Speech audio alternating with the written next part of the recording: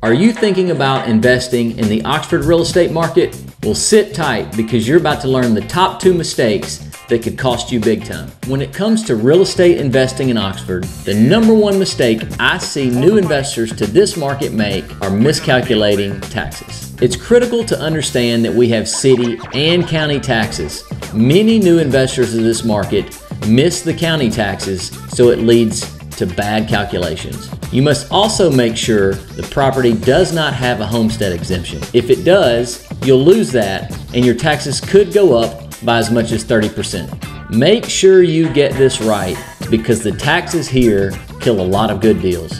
The number two biggest mistake I see is bad rental rate data. You're going to be disappointed if you assume the max rate that people are talking about is the average rate. You can't base your long term investment decisions on hearsay.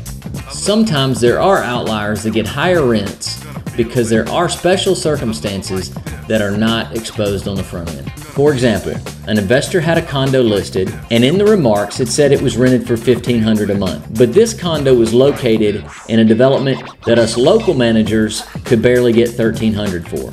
After doing a little digging, I found out that his daughter lived in one bedroom and she had two friends living in the other two rooms for $500 a month. Then I also found out that the property was furnished already and utilities were included in those amounts. This was a few years ago, so the rental rates are a little different now, but there are a few problems with his rental rate.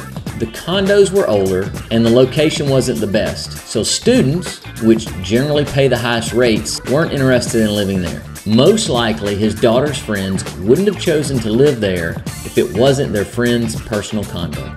The second problem is that the condo was furnished. Furnished properties in Oxford don't really help a lot, but you have to give some value to it in this case. The third problem is it included utilities. With three roommates, you can plan on about $100 per roommate if you include TV and internet. The investor was really at 1,300 per month at best. If you were purchasing this condo based off his numbers, you would not be happy with your investment. You have to make sure that you get your data from a reliable source. If you have an agent, make sure you have them get you a name for a property manager that does this day in and day out. The Oxford rental market is very complex. We don't have a database of annual comps that sales agents can easily access like many areas in the country do. And the market here can be feast or famine.